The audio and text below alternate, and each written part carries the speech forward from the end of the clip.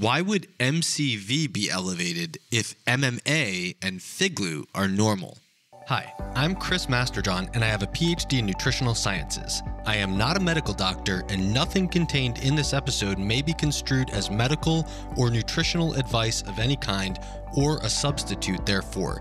This episode is meant purely as scientific education. If you wish to act on any ideas presented in this episode, please consult your physician first and never take anything herein as a reason to contradict medical advice. With that said, enjoy the episode. Uh, all right, our last question of the day. Ekaterina says there is one more question if you have time. Why MCV, which is mean corpuscular volume, which you would see on a complete blood count or CBC, why would MCV be elevated despite supplementation with B12 and folate? Organic acid levels of FIGlu and MMA are in the range. FIGlu is formiminoglutamate, which is an inverse marker of folate status with emphasis on unmethylated folate and methylmalonic acid or MMA, not to be confused with mixed martial arts, is an inverse marker of vitamin B12 status. Um, so, what MCV is telling you is that your red blood cells are bigger than normal.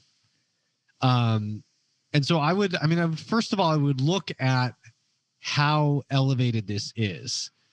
Because if it's like you know two points above the top of the reference range and it's flagged as high but barely flagged as high then you might want to just retest it and see if it stays high. But you also might want to see if increasing your folate status or your b12 status but especially folate you might want to see if that helps because it's you know entirely possible that so first of all FIGlu uh, is very specific to tetrahydrofolate or thf which is the un the sort of uh, unmethylated and unmethylated and uh, unformylated form of its most basic form of, of folate uh, whereas methylation is going to depend on methylfolate and um, your MCV is going to depend on methylene tetrahydrofolate. So it's it's you know it's possible that if you have a polymorphism in dihydrofolate reductase that's lowering its activity, that you might have a hard time supplying the methylene folate needed to keep the MCV down and you might be dependent on a higher uh, amount of folate to do that. And you also might get a better response from non methyl forms of folate, such as folinic acid. Uh, and then it's just always possible that, you know, 400 micrograms of methylfolate doesn't minimize your MCV, but 800 micrograms does and the 400 was enough to keep the FIGlu in range, but it wasn't enough to keep the MCV in range. That's also possible. Um, with that said, uh, if folate and B12 are not part of the answer, the next thing I would look at is copper. And so I'd measure your serum copper and ceruloplasmin because copper can cause all kinds of uh, copper deficiency can cause